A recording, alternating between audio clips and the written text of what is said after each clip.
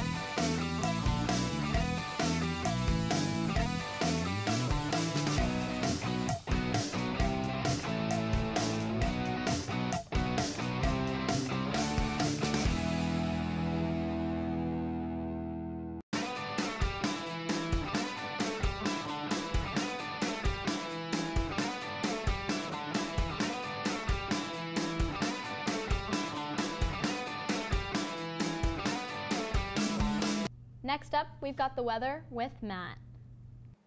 Hey guys, it's Matt Mahadi here with the weather. And we're gonna start Monday, it's gonna be cloudy with a high of 53 and a low of 45. And then Tuesday is gonna be rainy with a high of 60 and a low of 51.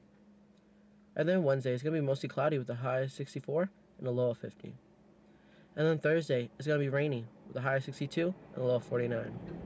And then Friday is gonna be a thunder shower, so be safe. It's gonna be a high of 64 and a low of 50. Now here's Kobe with sports. Thanks, Matt.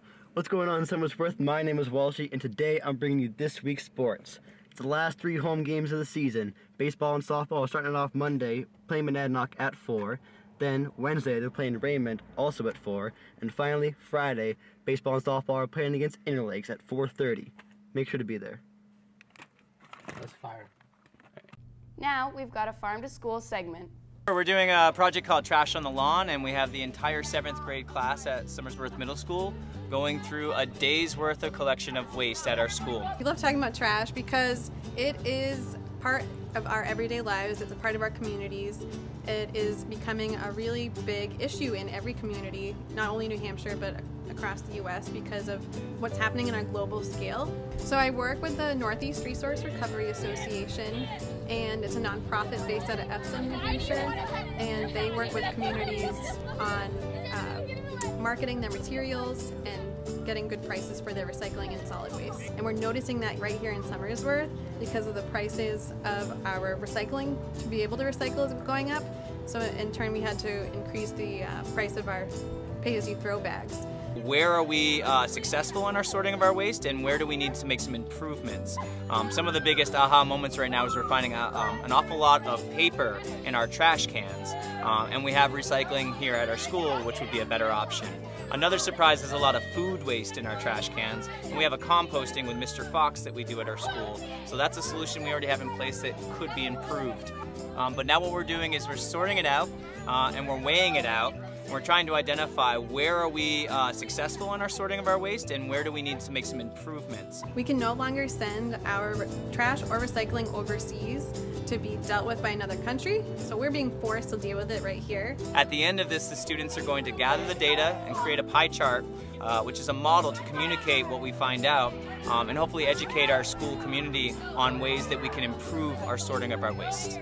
If we keep doing bad stuff to the earth, we're nearing the point where there's no return and it's like we can't solve it anymore. Yeah. We're at a critical point where if we don't finish what, like, recycle will do what we need to fix what we've done within a couple years, we can't fix it and it will just end up getting worse from there. So it's becoming right at the forefront of everybody's pockets.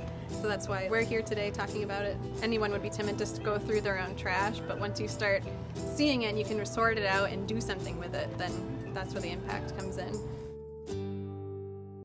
And here are your SHS announcements. The spring concert is on Tuesday evening, May 21st. And don't forget that there's a long weekend this weekend. There's no school on Monday. Bye, guys. And we'll see you next week on Swen.